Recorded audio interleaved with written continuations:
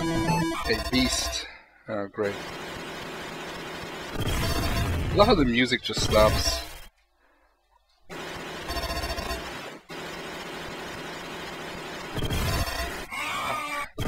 he can freaking... And again, he did beat the shit out of Robocop in the second movie. Which is actually my favorite. I, I like Robocop 1. Ah, oh, shit. It's, he has got a very distinct pattern, I know. I could have killed him, but, you know, a little practice. I'm going to do the continues. Let's do this again. This is fun. I enjoyed that. So, with a little practice, I could defeat uh, Cain, so no big worries here.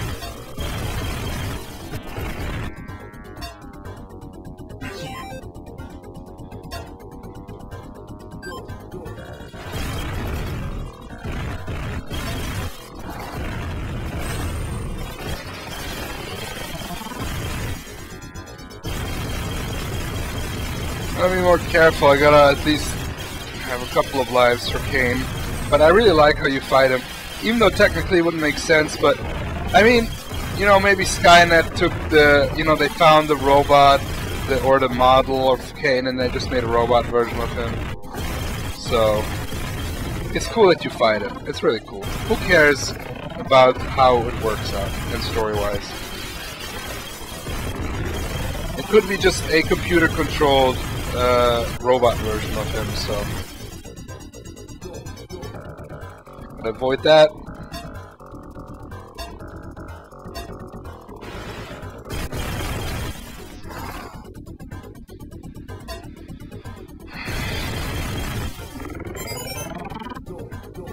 Yo, yo.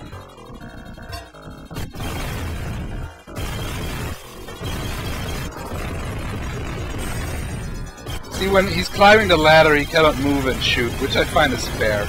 It does make sense. See, because he needs to shoot, you know, and he needs two arms to climb. Even the mighty Robocop needs two arms to climb. Yeah. No, I'm Robocop, so you are under arrest. That's why I shoot you all. I am Robocop. Freeze, creep. Freaking Robocop.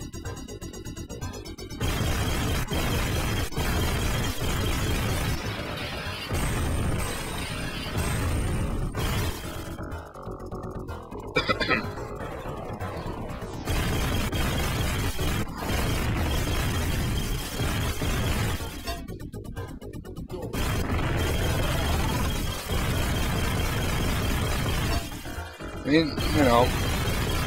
Yeah, I, also the reason I'm playing this is because...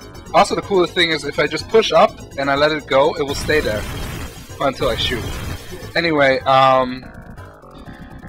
They, you know, they showed the first pictures of the RoboCop remake, and RoboCop looks like, uh, he looks like he's not even wearing, not even a cyborg really. He just has this weird, almost looks like the uh, Nolan verse Batman armor uh, costume.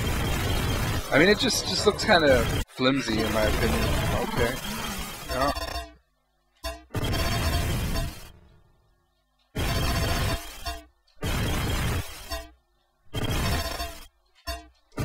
Ah.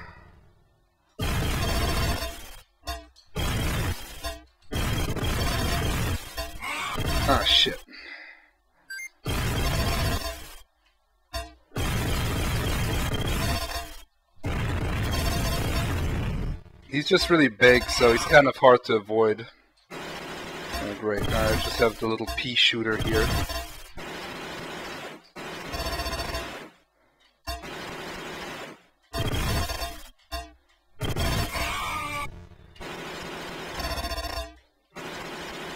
Where the hell did I go? That was kind of, that was kind of weird. Just disappeared there for a second.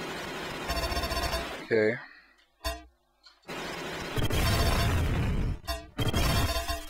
Okay, but uh, see, that's kind of old school game physics. I just touch his head and I lose more life than actually being hit by the bullets. Just bullshit.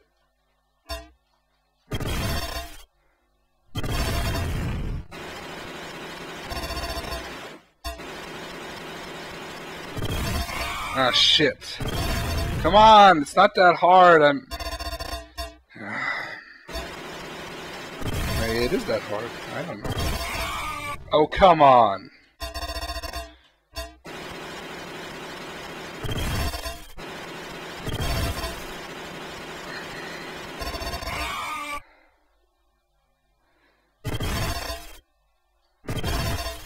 That was kind of weird. Ah, fuck! Oh, come on!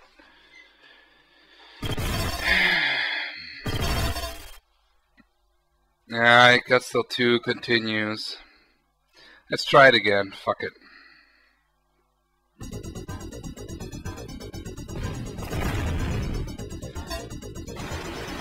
I'm getting the pattern now. I mean, it's not that hard, but it's just really big, and Robocop is big, and it's kind of hard to avoid everything. I'm not. The controls are pretty tight, but you know, it's just hard with you know being a bigger character and a smaller one.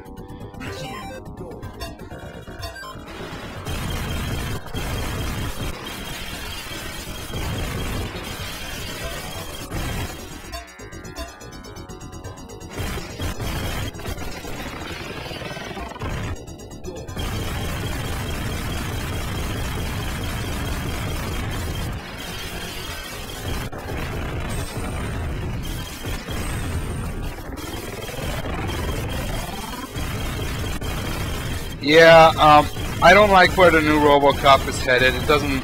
I don't like it.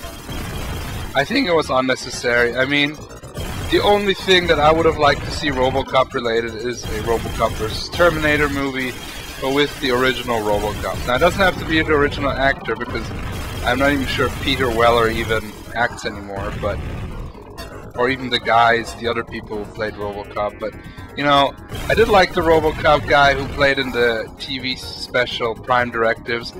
I know it's not the best what RoboCop has to offer, but I like how Prime Directives gave a new uh, a new cyberpunk spin to the whole thing because technically RoboCop is cyberpunk, and it made it a little bit more cyberpunky, and it was a little bit cool. So it was cool in its own way. It was its own thing, and you had an literally an evil RoboCop, which was a black RoboCop.